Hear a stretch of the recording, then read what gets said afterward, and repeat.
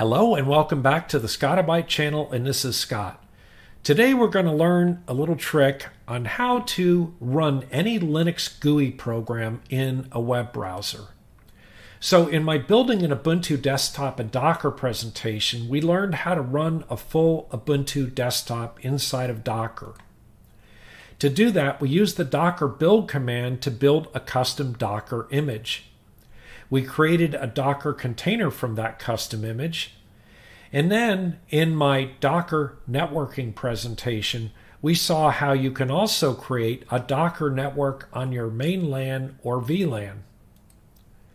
This time we're going to learn how to create a Docker application to run any Linux GUI program in a web browser.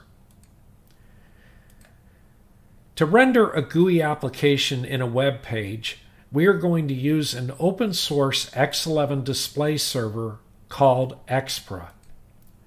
Xpra provides a persistent remote display server for forwarding applications and even desktops. Xpra also includes a built in HTML5 client with GUI tools and support for sound and notifications.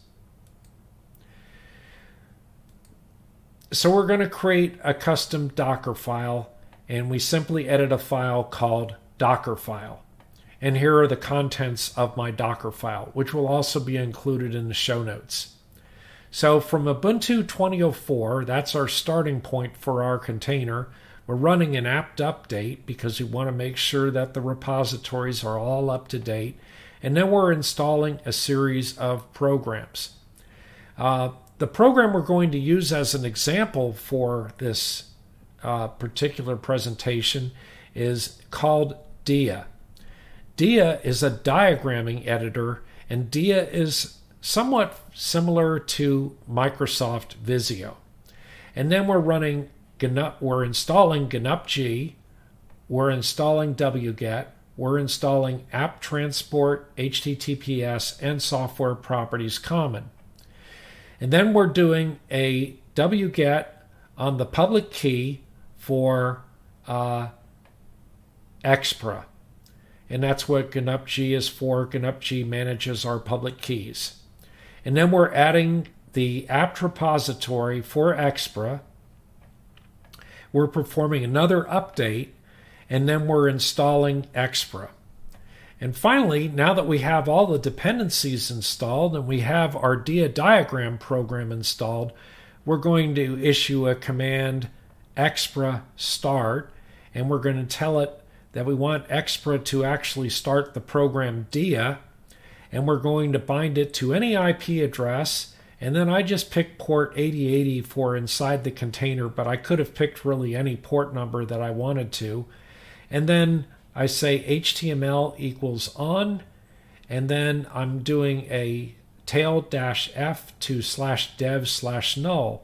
So the purpose of this tail, this is called a tail follow command.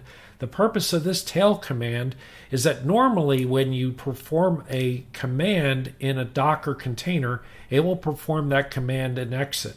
We don't want it to perform the command and exit. We want it to be able to stay running the container as long as the user is doing something. And so the tail command uh, going to the null device is just a, a fancy way of keeping that container up and running. Okay, and then we're going to build the custom image from the Docker file. And that's simply docker build space dash T and then Linux dash command, a space, and a period and that just says build it in the current location. And so I'm just calling my custom image Linux dash command. Then I want to start the container. So I want to run the container on port 18080 just because I made up that port number. You can choose any port number you want that's unused on your Docker host. And a simple way to do that is a docker run dash D for detach dash P for port number, and I want to expose port number 18080, which will actually be port 8080 inside the container that you saw that we created from the Docker build. And then I'm going to call my container dia because that's the application it's running. And the image that I'm going to run, the Docker image, is linux-command. You could have also created a docker-compose.yaml file, and if so, its contents would very simply be what you see here. I'll include all of these in the show notes. Depending upon your preferences, you can use either one. So if we had used a Docker compose uh, file, then in order to start the container, we would have done a docker dash compose space up dash d to detach. So here we are at the command prompt, and I've already created a couple of files in here. In fact, if you do an ls, you can see that I have the docker compose.yaml and I have the docker file. So if I go back to a web browser here, I happen to be using a QNAP NAS, and so I have created a, uh, uh, a file station location for those files, but any Docker host will work, and this is Container Station.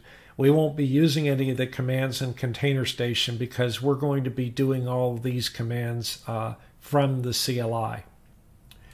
So, to begin with, if we look at the Docker file, if I cat the Docker file, there it is. And if I want to create the image, the command that I'm going to use is the docker build command. Docker build dash T, and I just decided I wanted to call it Linux dash command, and I want it to be located in the current folder. So I execute this, and it would generally take a lot longer. Uh, it's just that I've already built this thing, and so it's out there and it didn't need to rebuild itself. Um, it may take up to 15, 20 minutes to go off and build this, depending on the speed of your particular host. And then, if I do a docker run command to create a container from the image that we just created, and offer it on port 18080, it does that. And if I do a docker ps, you can see that I have a image called linux dash command and it is up and running. And the name of this particular container is dia off to the right side. We can see this a little bit easier in the GUI for QNAP container station. You see DIA is up and running and it's running from Linux command. And it's just a feature they have here where I can click on this, but I'd be going to the address of my Docker host and then port 18080 because that's the port number I set. And when I click on that, it goes into it, and there we are. We have our diagramming program DIA up and running. I can resize, I can move this thing around. It's like its own little desktop. I can even go full screen on this thing, and then that becomes my entire desktop uh, for running this particular application. But this application is running in a web browser. If I exit that and come back, you can see it's running in the web browser tab. So you can you can create these containers using Xpra and you can run multiple apps on them. And in fact, you even have a menu of which apps are available here. And it'll generally tell you system tools and it'll find the system tools that are started. So I could theoretically start an Xterm, that sort of thing. But uh, this is a purpose container just to run one particular application. So if we do a docker ps command, we can see that I have my DIA container still running up here at port 18080 on the IP address of the Docker host. So let's do a docker stop dia and it will stop that container. And let's do a docker remove dia. And so now if we do a docker ps you can see that dia is gone. All right. So on your Docker host, if you do an IP route, IP route will list all of the network interfaces on your Docker host. The network interface that is connected to my main LAN is called QVS0. Yours will differ. But I can create a Docker network with the command docker network create detach Mac VLAN. Uh, subnet is going to be 172.16.0.0 subnet mask of 16 because that's what my main network is, and 172.16.0.1 is my gateway, and my parent is going to be QVS0, and I'm going to create a Docker network, and it's going to be created by the name of exposed. So if I do a Docker network ls, you can see here that I have a new network that I just created called exposed, and it's of type Mac VLAN. Now, what we can do is we can create our DIA container using the docker run command, name is DIA, on a network called exposed and offered on 172.16.75.75. Now we notice we don't have any port numbers here. Uh, instead of having the dash P for ports, we have the dash net for networks. And when we do that, it creates itself. And if we do a docker ps, you can see that it is up and running and it does not list any port numbers because there aren't any.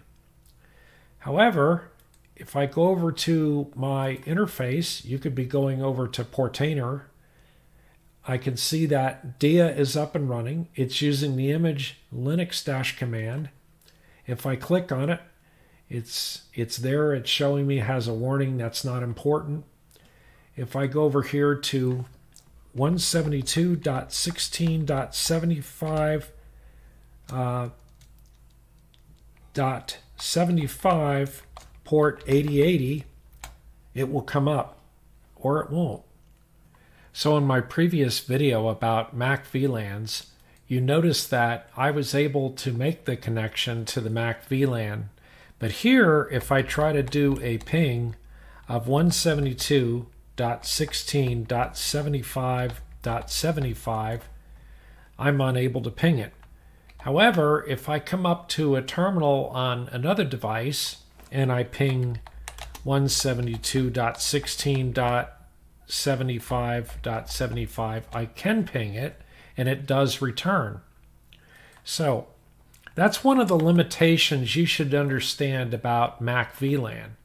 And since um, Xpra uses uh, both X Windows, X11, and it also uses HTML redirection. It's actually trying to contact itself from itself.